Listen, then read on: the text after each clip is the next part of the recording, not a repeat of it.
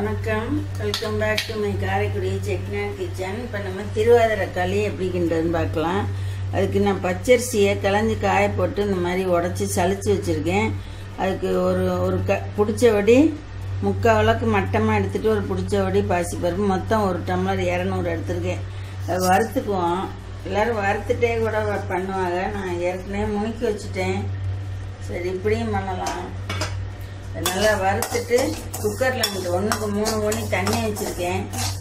முக்கா இந்த கப்பால் தான் இறம்ப எடுத்தேன் கோபுரமாக இதுக்கு முக்கா வச்சுருக்கேன் வெள்ளம் நீங்கள் இறம்ப வேணாலும் போட்டுக்கோங்க. இது கொஞ்சம் கூடுதல் இனிப்பாக இருக்கும். இது கரெக்டாக இருக்கும் அளவாக இருக்கும். வறுத்துட்டு அதில் போட்டுடுறேங்க பருப்பு சவக்கிற வரைக்கும் நல்லா வறுக்கணும். அது ரொம்ப சேப்பாக இருக்கு நான் ஓரளவு நல்லா கை பொறுக்க முடியாமல் சொல்கிற வரைக்கும் பாசி பருப்பு பச்சை மணத்தாமல் வறுத்துக்கிறேன். வறுத்துட்டு இந்த குக்கரில் மூணு மணி தண்ணி வச்சுருக்கேன். அதில் போட்டு ஒரு விசில் வச்சு பத்து நிமிஷம் சிம்மில் எடுத்துக்கிட்டு வந்துடுறேன். அப்புறம் நம்ம வெள்ளத்தை போட்டுக்கலாம். வெள்ளத்தை பாகு வச்சும் போடலாம். இது மாதிரியே தான் நான் எப்பயும் பண்ணுவேன். அதனால் நான் இப்படி பண்ணிக்கிறேன். இதுக்கு ஒரு கதை இருக்குது எங்கள் வீட்டில் அவங்க சொல்லுவாங்க செட்டியார் நீங்கள் கேட்டுக்கங்க. ஆர்திரா தரிசனம் இந்த வருஷம் வந்து முப்பதாம் தேதி திங்கக்கிழமை இன்னைக்கு வருது. அதுக்கு வந்து இந்த களியும் எழுதறி கூட்டும் வைக்கிறதுக்கு வந்து ஒரு காரணம் ஒன்று ஒரு கதை ஒன்று சொல்லுவாங்க. அதாவது நாயன்மார்களில் வந்து சேந்தனார்னு சொல்லி ஒருத்தர் இருந்தார். அறுபத்தி மூணு நாயன்மாரில் அவர் ஒருத்தர்.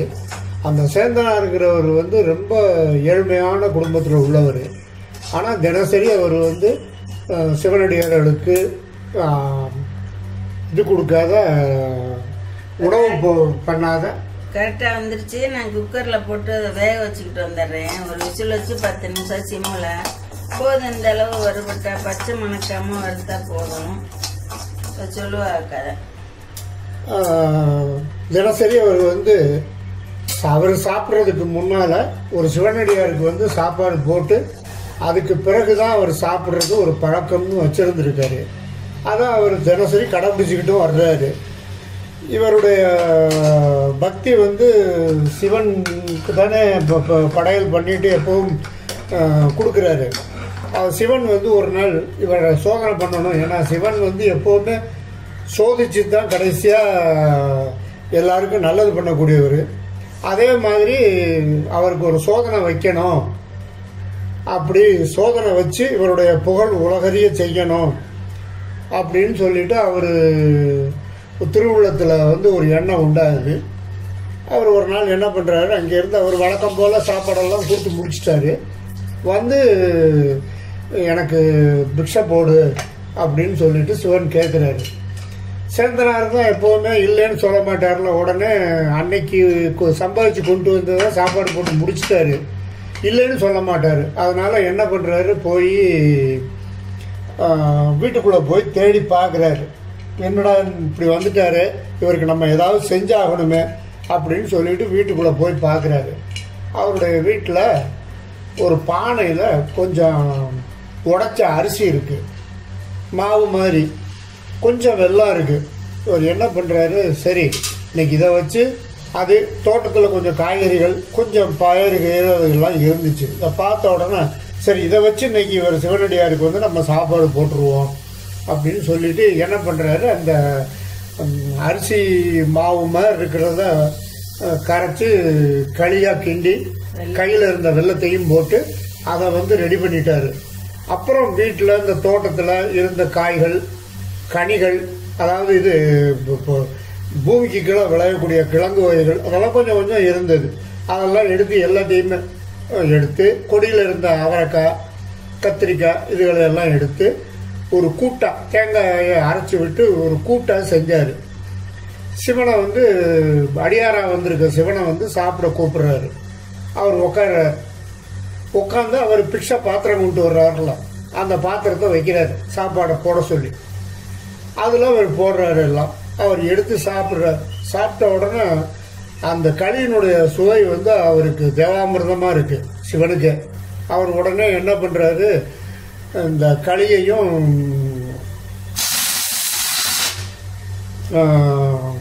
கூட்டையும் எடுத்துக்கிட்டு நல்லா சாப்பிட்டு ஒரு ஆசீர்வாதம் பண்ணிட்டு போகிறாரு இது வந்து என்ன ஆகுதுன்னு கேட்டால் ஒரு ஏழை செஞ்ச அன்னதானம் அந்த ராஜாவுக்கு மற்ற சிவநேசர்களுக்கு மக்களுக்கு எல்லாருக்கும் தெரிகிற மாதிரி சிவன் வந்து எனக்கு சேந்தன் படியளந்தான் சேந்தன் படியளந்தான் சேந்தன் படியளந்தான்னு எல்லாருடைய கனவுலையும் போய் சிவன் சொல்கிறாரு அப்போ தான் எல்லாருக்கும் தெரிய வருது சேந்தன்னு யாரோ ஒருத்தர் சிவனடியார்களுக்கு இது மாதிரி செஞ்சுக்கிட்டு இருக்காரு.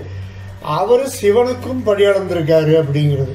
எல்லாரும் ராஜா தேடி பிடிக்கிறாரு. யார் சேந்தன்னு பாருங்கப்பா அப்படிங்கிறாரு. பார்த்தா ஒரு ரொம்ப ஏழ்மையாக தினசரி கூலி வேலை பார்த்து சம்பாதிச்சு வரக்கூடியதில் அன்னம் செஞ்சு அதை வந்து சிவனுக்கு படைச்சு அடியார்களுக்கு கொடுத்துட்டு எஞ்சினதை சாப்பிடக்கூடிய ஒரு ஏழைங்கிறது தெரிய வந்துச்சு. உடனே ராஜா அவரை கூப்பிட்டு அவருக்கு மரியாதை பண்ணி உலகறிய செய்கிறாரு. சிவன் அவருக்கு நற்கதி கொடுக்குறாரு. அவர் தான் சேர்ந்தனர் இது வந்து அவருக்கு நற்கதி கொடுத்தது வந்து இந்த திருவாதிரை அன்னைக்கு. அதுக்காக தான் இந்த சேந்தனாரை வணங்குற மாதிரியும் அவருடைய அவருக்கு கிடைச்ச பாக்கியம் நம்மளுக்கெல்லாம் கிடைக்கணும் அப்படிங்கிறதுக்காகவும் ஆயுள் வந்து நீண்ட ஆயுள் வரணுங்கிறதுக்காக திருமணமான பெண்களும் திருமணமாகாத ஆண் பெண் குழந்தைகள் வந்து திருமணம் விரைவில் நடக்கணுங்கிறதுக்கும் இந்த திருவாதிரை நோன்பு இருந்து சாயங்காலத்தில் இந்த பிரசாதத்தை செஞ்சு சுவாமிக்கும் படைச்சி எல்லாருக்கும் கொடுத்து சாப்பிட்றது ஒரு ஐதீகம். இது ரொம்ப சிறப்பாக இருக்கக்கூடிய இடம் வந்து ஆருத்ரா தரிசனம் வந்து ஒன்று சிதம்பரம். சிதம்பரத்தில் ரொம்ப விமர்சையாக இருக்கும். அப்புறம் இன்னொரு இடம் வந்து நீங்கள் கேள்விப்பட்டிருப்பீங்க உத்தரகோச மங்கைன்னு ராமநாதபுரத்துக்கு பக்கத்தில் இருக்குது ஆதி சிதம்பரம்னு பேர். அதுதான் ஆரம்பம். சிவனுடைய பிறந்த வீடுன்னு சொல்லுவாங்க. அங்கே வந்து ஒரு மரகத நடராஜர் இருக்கார். அந்த மரகத நடராஜருடைய பீடம் மா- நடராஜர். நடராஜருக்கு பின்னால் இருக்க ஆவிச்சு இது எல்லாமே சுத்த ஜாதி மரகதத்தில் ஆனது. அது அதிர்வு தாங்காது. இந்த ஆர்திரா தரிசனத்து அன்னைக்கு இரவு மட்டும் அதை சுற்றி சந்தனம் பூசி வச்சுருப்பாங்க. மேலே வந்து துணி போட்டிருப்பாங்க. மே- அந்த ஆர்திரா தரிசனத்துக்கு முத நாள் ராத்திரி அந்த சந்தனத்தை எல்லாம் களைஞ்சிட்டு அந்த துணியெல்லாம் களைஞ்சிட்டு அந்த மரகத நடராஜருக்கு அபிஷேகம் பண்ணுவாங்க. வருஷத்தில் ஒரு நாள் தான் பால் அபிஷேகம் மற்ற அபிஷேகங்கள்லாம் பண்ணி திரும்ப அந்த பழையபடி சந்தன குழம்ப வந்து பூசி துணி கோடி துணியை வந்து சுற்றி பழைய நிலைமைக்கு இந்த சிவனை வந்து நடராஜரா. வச்சிருவாங்க. இது வந்து உத்தரகோசமங்கைங்கிற ஸ்தலத்தில் மட்டும்தான் நடக்குது. உங்களுக்கு ராமநாதபுரத்துலேருந்து மதுரை போகிற போது ராமநாதபுரத்துலேருந்து ஒரு பத்து கிலோமீட்டர்ல வந்துடும் இந்த ஊர். ரொம்ப விசேஷமான ஸ்தலம். ஒரு முறை அவசியம் போங்க. ஆனால் நீங்கள் போய் பார்க்குற போது நடராஜர் வந்து மேலே சந்தனம் தடவி துணி சுற்றி தான் நீங்கள் பார்க்க முடியும். பன்னெண்டு மணிக்கு ஒரு அபிஷேகம் ஒன்று தினசரி அங்கே நடக்கும். விசேஷ காலங்கள் தவிர மற்ற நாள் பூராவும் நடக்கும். அதுக்கு வந்து நீங்கள் அபிஷேகம் பண்ணுறதுக்கு எல்லாம் பால் இளநீர் பன்னீர் சந்தனம் எல்லாம் வாங்கிட்டு போய் கரெக்டாக பன்னெண்டு பன்னெண்டு மணிக்கு அபிஷேகம் ஆரம்பிச்சிருவாங்க. ஆனால் இந்த நடராஜர் சன்னதியில் வந்து ஏன்னா நடராஜருக்கு வந்து அபிஷேகம் கிடையாதுங்கிறதுனால மரகத லிங்கம் அங்கே இருக்குது ஒரு ஸ்படிக லிங்கம் இருக்கு. இது ரெண்டையும் வெளியில் எடுத்து வச்சு நடராஜர் சன்னதிக்கு வெளியில் எடுத்து வச்சு அதுக்கு வந்து அபிஷேகம் பண்ணுவாங்க. நீங்கள் அதுக்கு பக்கத்தில் உட்காந்து ரொம்ப சாவகாசமா அந்த சுவாமிக்கு வந்து அபிஷேகம் பண்ணுறத நீங்கள் பார்க்கலாம். நீங்கள் கொண்டு போகிறதெல்லாம் எடுத்து கொடுத்து அபிஷேகம் பண்ண சொல்ல பண்ணுவாங்க. பண்ணிவிட்டு அதுக்கு வந்து சுத்த அன்னம் அதாவது வெள்ளை சாதம். அதுதான் நெய்வேத்தியம். அதை செஞ்சு உங்களுக்கு பிரசாதம்லாம் கொடுப்பாங்க. கொஞ்சம் கூட்டம் இருந்துச்சுன்னா எல்லாரும் போய் உட்காந்துக்க வேண்டியதுனா ஆரவாரம் இல்லாமல் நீங்கள் பார்க்கலாம். அங்கே அன்னதானமும் உண்டு தினசரி. எல்லா நாளும் இந்த அபிஷேகம் நடக்கும். அப்புறம் இந்த மரகத லிங்கத்தையும் அந்த ஸ்படிக லிங்கத்தையும் எடுத்து உள்ளே வச்சிருவாங்க. இந்த அபிஷேகம் நடக்கிறத ரெண்டு பக்கமும் பார்த்தீங்கன்னா இது இருக்கும். ஜன்னல் இருக்கும். அந்த ஜன்னலில் ஒரு பக்கத்து ஜன்னலில் வந்து இவர் நம்ம காரைக்கால் அம்மையார் இவங்கெல்லாம் இருந்து நேரடியாக அந்த நடனத்தை பார்த்த மாதிரி இந்த அபிஷேகத்தை பார்க்குற மாதிரி ரெண்டு சன்னதிகள் இருக்குது இதுக்கு நடுவில் இந்த நடராஜர் இருக்கக்கூடிய மண்டபம் வருது. அந்த மண்டபத்தில் உட்காந்து நம்ம அந்த அபிஷேகம் பண்ணுறத அந்த ரெண்டு சன்னதியில இருந்தும் அந்த சுவாமிகள் பார்க்கக்கூடிய மாதிரி வடிவமைச்சிருக்காங்க. அவசியம் போங்க. ஆர்திரா தரிசனத்துக்கு முத நாள். ராத்திரி சந்தனம் களைஞ்சு அந்த பச்சை திருமேனியை பார்க்கலாம். பால் ஊத்துற போது அந்த வெளிச்சத்தில் அந்த பாலெல்லாம் பச்சையாகவே தெரியும். அந்த நடராஜர் வந்து ப- பளபளன்னு கண்ணாடி மாதிரி நம்ம கண்ணுக்கு தெரியும். அவசியம் போய் நீங்கள் தரிசனம் பண்ணுங்க. ரொம்ப ராமநாதபுரத்துலேருந்து பக்கம்தான். அன்னைக்கு வந்து ஸ்பெஷல் பஸ் எல்லாமே போகும். ரொம்ப நல்லா இருக்கும். ஒரு தடவை அவசியம் அந்த ஆருத்ரா தரிசனத்தை பாருங்கள் அந்த கோயிலுக்கு போங்க. மூவாயிரம் ஆண்டு பழமையான ஒரு இலந்தை மரம் இருக்கு. இப்போ வந்து அது நாவலா இருக்கு. அங்கே வந்து சகசரலிங்கமும் இருக்கு. அந்த மரம் மூவாயிரம் வருஷம் ஆச்சு அப்படிங்கிறாங்க. அதாவது நம்ம கார்பன் டேட்டிங்னு சொல்லி ஆராய்ச்சி பண்ணுவாங்க. எவ்வளோ வருஷங்கள் ஆச்சுன்னு கண்டுபிடிக்கிறதுக்கு. அதில் செய்கிற போது இந்த மரத்தினுடைய பட்டை இதுகளை வச்சு ஆராய்ச்சி பண்ணி பார்க்குற போது குறைஞ்சது மூவாயிரம் வருஷம் இருக்கும். அப்படின்னு சொல்கிறாங்க அந்த கோயில் வந்து உங்களுக்கு கூட்டம் இல்லாமல் தரிசனம் பண்ணுறதுக்கு ரொம்ப சௌகரியமாக இருக்கும். அவசியம் போங்க. ராமநாதபுரம் போனீங்க அப்படின்னா அவசியம் அந்த ஸ்தலத்துக்கு போய் தரிசனம் பண்ணுங்க. திருவாதிரைக்கு போனா ரொம்ப கூட்டமா இருக்கு. திருவாதிரைக்கு முத நாள் மட்டும் உங்களுக்கு கொஞ்சம் கூட்டம் இருக்கும். ஆனால் உங்களால் பார்க்க முடியும். லைனில் விடுவாங்க. நீங்கள் பார்க்க முடியும் அன்னைக்கு. ஒன்றும் சிரமம் கிடையாது. மற்ற நாளில் எந்த கோயில்லையுமே அவ்வளோ சௌரியமாக சுவாமியை தரிசனம் பண்ண முடியாது. அங்கே மங்களாம்பிகைன்னு சொல்லிட்டு அம்மன் அதையும் தரிசனம் பண்ணுங்க. சரி அங்கே போனால் விரைவில் திருமணம் ஆகும். நல்ல இதெல்லாம் அதாவது நல்லது நடக்கும்பாங்க. பள்ளியறை வந்து அந்த ஸ்தலத்துல இருந்து தான் எல்லா இடத்துலையும் நடத்தினது. அந்த ஊஞ்சல் பாடல் வந்து பள்ளியறைக்கு பாடுவோம் ஊஞ்சல் பாடல். ஒரு பத்து பாட்டு இருக்கு. அது வந்து அந்த ஸ்தலத்துல தான் முத முதல்ல அவர் பாடினது மாணிக்கவாசகர். அதைத்தான் இப்போ எல்லா சிவன் கோயில்கள்லையும் தமிழ்நாட்டில் ஊஞ்சல் பாடல்னு சொல்லி ராத்திரி திருப்பொன்னூஞ்சல் திருப்பொன்னூஞ்சல்னு சொல்லிட்டு அதை ஆரம்பிக்கும். அந்த இது ஸ்தலம் அதுதான். அவசியம் போங்க. வணக்கம். வாழ்க வணக்கம் ஒரு சத்தம் வந்துருச்சு இறக்கி வச்சுட்டேன். இப்போ அதுக்குள்ள கறி எலுகறி கூட்டு பண்ணிக்குவோம். அதுக்கு ஒரு ஸ்பூன் ரெண்டு ஸ்பூன் எண்ணெய் ஊற்றிருக்கேன் அதுக்கு வந்து சக்கரவள்ளி நிறைய கிடைக்கிற காயெல்லாம் போடலாம் எலுகறி கூட்டுன்னு. அன்றைக்கி சக்கரவள்ளி கிழங்கு உருளைக்கிழங்கு வாழைக்காய் கத்திரிக்காய் அவரைக்காய் கேரட்டு முருங்கைக்காய் ம், நமக்கு தட்டைப்பத்தாங்காய் எட்டு கத்திரிக்காய் சொல்லிட்டேன். எட்டு காய் கிடைக்கிறத போட்டுக்கலாம். பூசணிக்காயும் பரங்கிக்காயும் இல்லை. இருந்தால் ரொம்ப நல்லா இருக்கும் அது இல்லை. இது இருக்கிறத போட்டிருக்கேன். இதெல்லாம் இப்போ ட்ரை ரோஸ்ட் பண்ணிக்குவோம். ரெண்டு காஷ்மீர் மிளகா கலருக்காண்டி அஞ்சு காஞ்ச மிளகா வச்சுருக்கேன். நாலு ஸ்பூன் ஸ்பூனால் மல்லி எடுத்திருக்கேன். ரெண்டு ஸ்பூன் கடலப்பருப்பு ஒரு ஸ்பூன் உளுந்தம்பருப்பு அரை ஸ்பூன் வெந்தயம் அரை ஸ்பூன் மிளகு வச்சுருக்கேன். இதுக்கு வந்து நாலு மேஜ கரண்டி தேங்காய் துருவி வச்சுருக்கேன். அதையும் இப்போ இதில் போட்டு வறுத்துக்கலாம். கொஞ்சம் வறுபட தேங்காயை போட்டுக்கிறேன். இதெல்லாம் காஞ்சிருச்சு எண்ணெய் ரெண்டு ஸ்பூன் ஊற்றி வச்சுருந்தேன் வறுத்து எடுத்துக்கிட்டு அந்த காயை அந்த பக்கம் வைக்கிறேன். தண்ணி ஊற்றி ஒரு சத்தம் வச்சுக்குவோம். புளி இதில் ஊற வச்சுருக்கேன். நல்ல பெரிய எலுமிச்சங்காய் தண்டி புளி நிறைய காயில் ரெண்டு தரம் வைக்கிற மாதிரி குழம்பு. இவ்வளோ புளி ஊற வச்சுருக்கேன். பெரிய லெமன் சைஸு. புளியும் அதுக்கு தகுந்த ரெண்டு ஸ்பூன் கல்லுப்பும் ஊற வச்சுருக்கேன். அதெல்லாம் கரைச்சி தண்ணி ஊற்றி ஒரு விசில் வச்சுக்கிட்டுருவோம். இதில் அரை அளவு பருப்பு இந்த பக்கம் வேக வச்சுருக்கேன். அதையும் போட்டுக்கலாம். சொல்லிடு. பருப்புலையும் ஒரு கட்டி போட்டிருக்கேன். நான் இப்போ நீங்கள் இனிக்க வச்சோம்ல பெருங்காயம் அரிசி மாவில் அதுதான் எண்ணெயில் வறுத்துக்குவோம் வாசமாக இருக்கும். அது போட்ட உடனே வாசமாக இருக்கும். நல்லா தீயை குறைச்சிக்கலாம்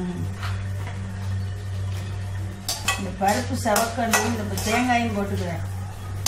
நாலு ஸ்பூன் தேங்காய் துருவல் போட்டுக்கிறேன். இதையும் வறுத்துக்கலாம். வாசம் வந்துருச்சு நல்லா. கொஞ்சம் தேங்காயும் வறுக்கணும் அப்போ இந்த குழம்பு கூட்டு வாசமாக இருக்கும். இதை வறுத்து ஆற வச்சிடுறேன். அதுக்குலாம் இந்த தண்ணி ஊற்றி இந்த புளியையும் கரைச்சி ஊற்றி ஒரு விசில் வச்சுக்கிறேன். இது தனியாக வேணாலும் வேக வச்சுக்கலாம். கொஞ்சம் லேட்டாக உப்பு புளியை கரைச்சி ஊற்றி அது காய் வேகிற அளவுக்கு தண்ணி ஊற்றிருக்கேன் ஒரு மூணு டம்ளரு. இப்போ ஒரு விசில் வச்சு எடுத்துக்கிறேன். இது வெந்துருச்சு. இந்த இது வெள்ளம் வந்து உங்களுக்கு மண் இல்லை. அதனால நான் கரைக்கலை. அப்படியே போட்டுக்கிறேன்.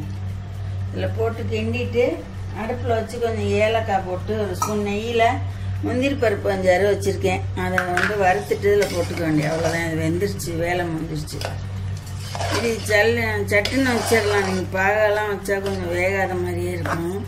அடுப்பில் வச்சு அஞ்சு நிமிஷம் கிண்டணும். உங்களுக்கு காட்டிட்டு கிண்டுறேன். அடுப்பில் வச்சா அந்த வெல்லம் இலைக்கும் உடனே கெட்டியாயிடும் சக்கரை சாதம் மாதிரியே வந்துடும் இங்கே இனிப்பு கூட வேணால் ஒரு அவ்வளோக்கு போட்டுக்கோங்க. எங்களுக்கு போதும். அளவான இனிப்பு தான் வேணும். லேசாக அடுப்பில் வச்சு கிண்டிக்குவோம். ஒரு அஞ்சு நிமிஷம் கிண்டுனா இந்த வெள்ளம்லாம் இலகிரும். ஒரு மோதகம் பண்ணுறீல்ல அதே மாதிரி தான் இதை தான் உருட்டி வச்சா தேங்காய் போட்டு உருட்டி வச்சா மோதகம். கை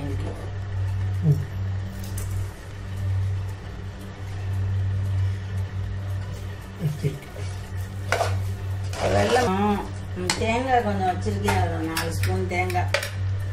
இதை இதுக்கு போட்டுக்கலாம். இறக்கி போட்டுக்கலாம்.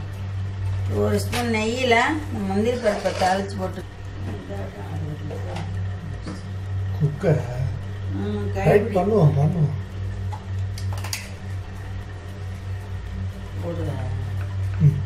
கொஞ்சம் ஏலக்காய் போட்டுக்கிறேன். ஒரு நாலு ஏலக்காய் மூட்டின தூள். அதான் நல்லா வாசனையாக இருக்கும். போட்டு ஒரு கிண்டு கிண்டிக்கும் ம் எல்லாம் வெள்ளம். இலகிருச்சு நல்லா. போதும் ஒரு ரெண்டு நிமிஷம். சிம்மில் வச்சு லேசாக ஒரு கட்டி இருக்கு. கிண்டிக்கிட்டு நம்ம ஆஃப் பண்ணிக்க வேண்டியதான்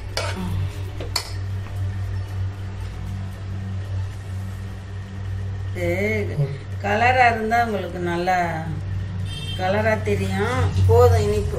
இப்போ இறக்கிட்டேன். தேங்காய் போட்டுக்குவோம். ஒரு கிண்டி கிண்டிட்டு நெய்யில் அந்த முந்திரி பருப்பை தாளித்து போட்டால் அதுக்கு இது களி ரெடி ஆயிடுச்சு. சரிங்களா? ஒன்று ஆறிட்டா நல்லா வந்துடும் உரியா இந்த தேங்காய் போட்டு கிண்டிட்டேன். இப்போ நெய் போட்டு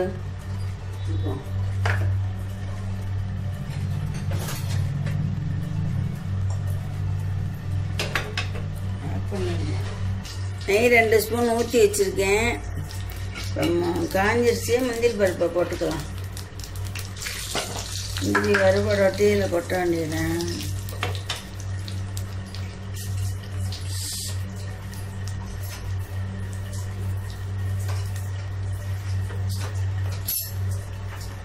இப்போ பாருங்க கலர் வந்துருச்சு. போதும் நல்லா வெந்துருச்சு முந்திரி. இதில் போட்டுக்கிறேன். போட்டு கிண்டி வச்சுக்குவோம். அதுக்கு தாளிச்சு போடணும் அப்புறம். பருப்பெல்லாம் போட்டு. பாருங்க இந்த மாதிரி வந்துருச்சு. ஆறட்டும் நான் ஒரு பவுலில் எடுத்துட்டு காட்டுறேன்.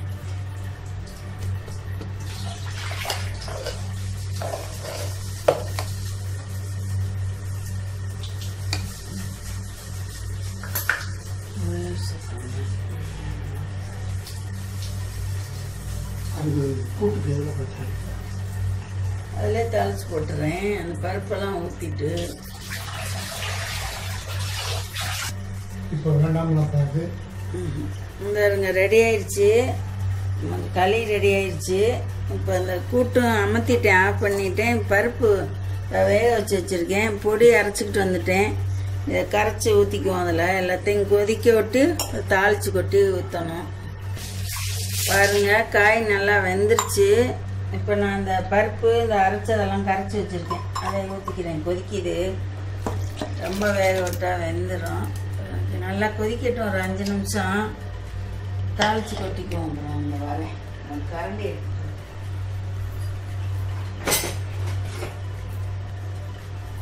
கருவேப்பிலை கொத்தமல்லி போடணும். அது பருப்பெல்லாம் இருக்கிறதுனால நல்லா திக்காக வந்துடும் வெள்ளை ஊற்றி கழுவி ஊற்றிக்கிறேன்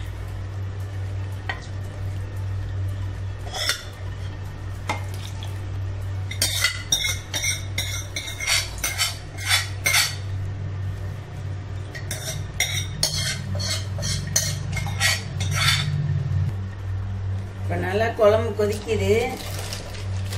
வெல்லம் போட்டுக்கிறேன். இது வெல்லம் போட்டால் தான் இந்த குழம்பு நல்லாயிருக்கும் ரெண்டு ஸ்பூன் கணம் போட்டுக்கிறேன். தான் இனிக்கும் உரைக்கும் புளிக்கும் எல்லா டேஸ்ட்டும் இருக்கும்.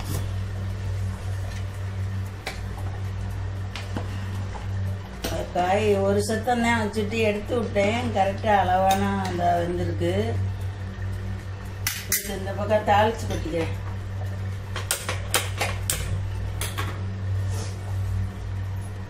தாளிச்சு கொட்டிட்டா நம்ம கூட்டு ரெடி ஆயிடுச்சு. சாமிக்கு வைக்கலாம்.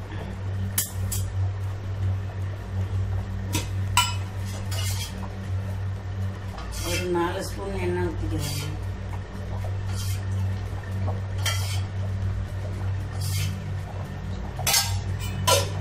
நாலு ஸ்பூன் ஊற்றிட்டு பெருங்காயம் பருப்பில் வேற போட்டோம் இதில் வேற போட்டேன்.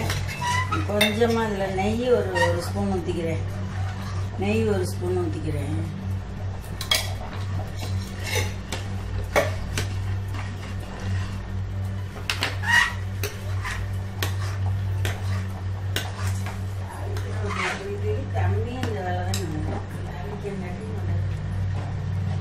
நாலு ஸ்பூன் எண்ணெய் ஊற்றி வச்சுருக்கேன். இப்போ ஒரு ஸ்பூன் கடுகு போட்டுக்குவோம். கடுகு நல்லா வெடிக்கட்டும்.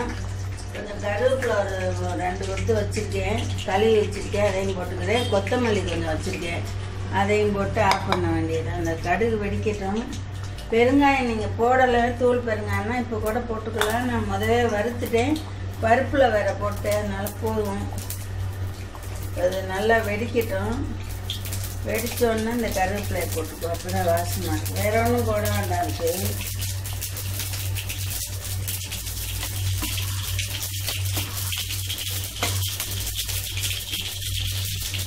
பாருங்க வெடிச்சிருச்சு. கருவேப்பிலை போட்டுக்கோ.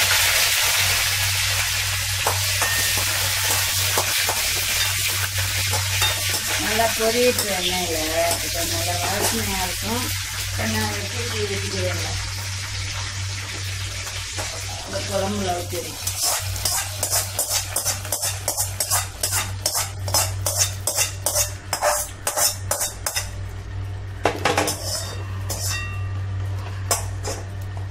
அப்புறம் கொத்தமல்லியும் போட்டு ஆஃப் பண்ணிக்கலாம். கொத்தமல்லியும் போட்டுறேன். மேலே கொஞ்சம் போட்டு.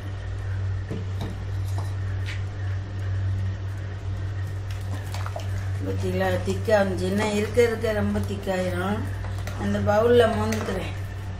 இப்போ தாளிச்சு கொட்டி ஒரு கொதி வந்துருச்சு. இப்போ ஆஃப் பண்ணிக்கிறேன். இந்த பவுலில் எடுத்துக்குவோம்.